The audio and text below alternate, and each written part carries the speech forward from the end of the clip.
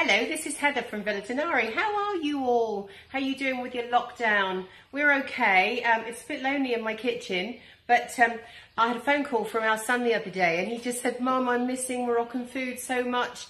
So this video today is for you, Adam, but also for some of our other guests that have either done cookery classes or missed the, missed the food with us.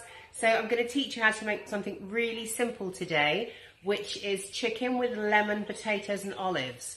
Um, so really quick. Now I'm not going to take I'm not going to take up too much of your time, and I've done all the preparation in advance. So for this dish, we have chicken. If you make this for two people, you'd want four chicken legs. I'm doing it for six, more or less the same ingredients. So it's chicken leg and then just jointed. You've got preserved lemon. I've got a quarter of a large preserved lemon.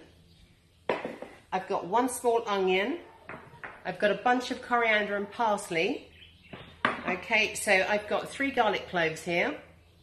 Right, then spice-wise. So we have cumin, we have coriander, then we've got some turmeric, some dried ginger, salt and pepper.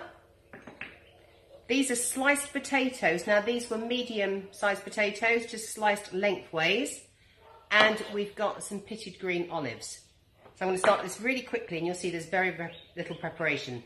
So for this recipe, you've got the chicken eggs, but we're going to start with marinating the meat, although, okay, it's really fast. So we're going to do, this is one medium onion, which is chopped really finely. We're going to pop that into the tagine. Then we're going to pop our three finely chopped garlic cloves in there, put them in. We're going to put a little pinch or handful of coriander and parsley chopped. Well, where's my little spoon? Oh, okay. Right, we're going to say this is a teaspoon, but it's not, so I'm going to have to be a bit wary. Right, so we're going to put a teaspoon of ground ginger, teaspoon of turmeric,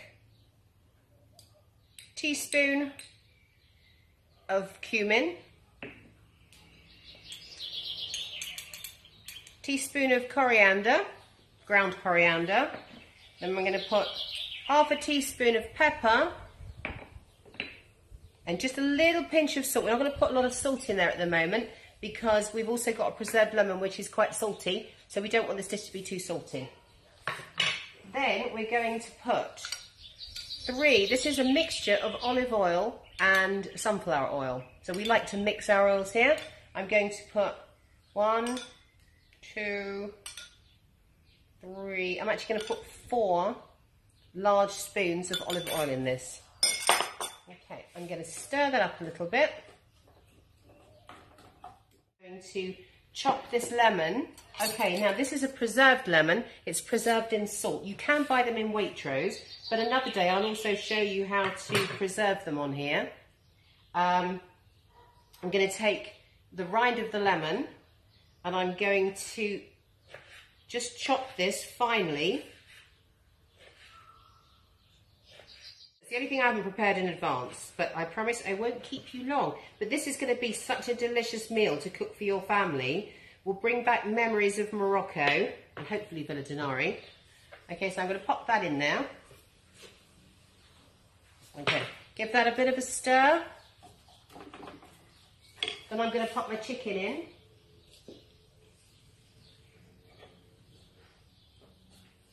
This is just about the easiest, actually I think I'm just going to use four. This is just about the easiest Moroccan dish that you can cook. So turn those around. And there, okay, no, just turn them around.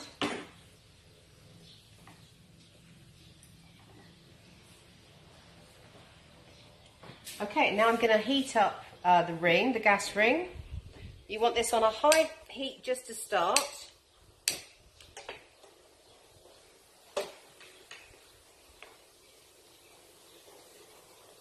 Okay, so it's simple, simple. There really isn't very much more to do with it than this. Okay, so when it starts to sizzle, then um, we will add the potatoes and some water and let it cook, okay? So just for now, that's where we are. So it's beginning to sizzle now, so I'm just going to turn the chicken over. Now I made a mistake earlier. I'm not making this for six people. I'm actually going to just make it for two. So I've got four small pieces of chicken, i.e. two chicken legs which have been cut into four. Okay, so I'm just turning that chicken over. Okay, so this is a bit of an impromptu cookery lesson, right? I'm not a professional chef. I'm just really just doing this, you know, because I thought it would be quite nice to do it. So don't expect perfection from me. So I've turned that over now. It's sizzling away. Now I'm going to add, it's not a case of how much I add. What I'm just going to do is I'm probably going to put about half of this glass in.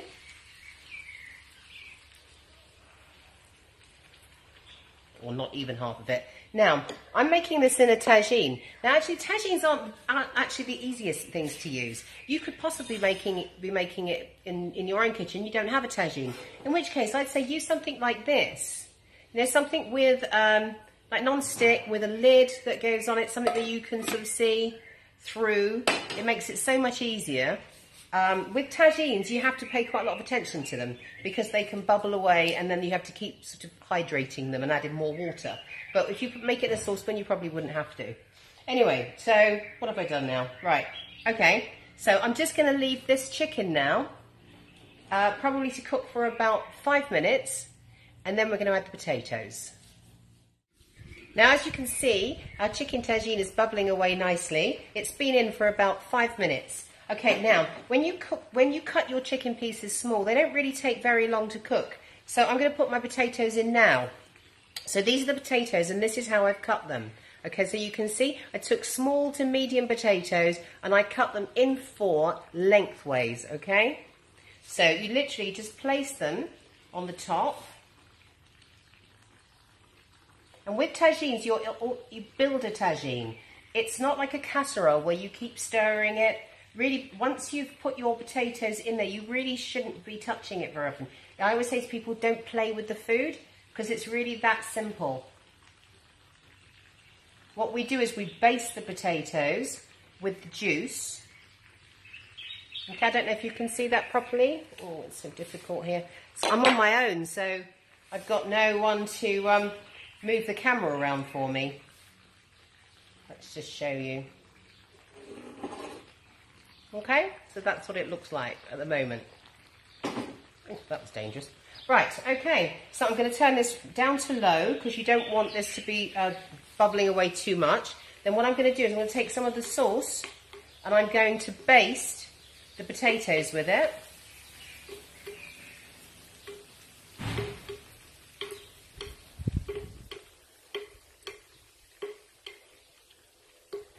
Now, if you're cooking this in a saucepan, then really, apart from just checking that you've got the sauce correct and um, that it doesn't need any more season, that really is it. So I'm just going to pop my lid back on there now. Now I'm going to have to pay more attention to this because I am cooking in a tagine. But said if I was cooking this in a, in a like a casserole dish, I'd put the lid on and I'd leave it for 20 minutes, just to, and then I'd check it and make sure that the chicken's cooked through and the potatoes are cooked through, and that would be it. And then you would just serve it. Now the chicken's been cooking for about 20 minutes now, so I'm just add, just actually adding my olives to the dish. And we leave those to cook in the sauce for about 10 to 15 minutes. So this has been cooking now for another 15 minutes. I'm just checking it, making sure that um, it's properly cooked. Okay, now you can see it. So, yep. Knife slides in there easily. The chicken is all cooked. I've put a little handful of uh, preserved lemons on there. I've also just done a decorate it with a little bit of chopped parsley and coriander.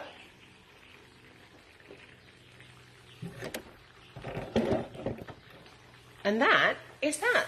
So here we have it. We have chicken with preserved lemons, potatoes and olives. Um, I've got myself a little glass of Guerrouane Gris. Um, Moroccan wine's really good, and, and I'm sure it must be, it's 6.30 here, so I'm sure it must be 1 o'clock somewhere. So cheers, everybody. Adam, I hope you enjoyed your, the cookery lesson, and I hope everybody else did. I really enjoyed doing this. and thanks for joining me. Bye.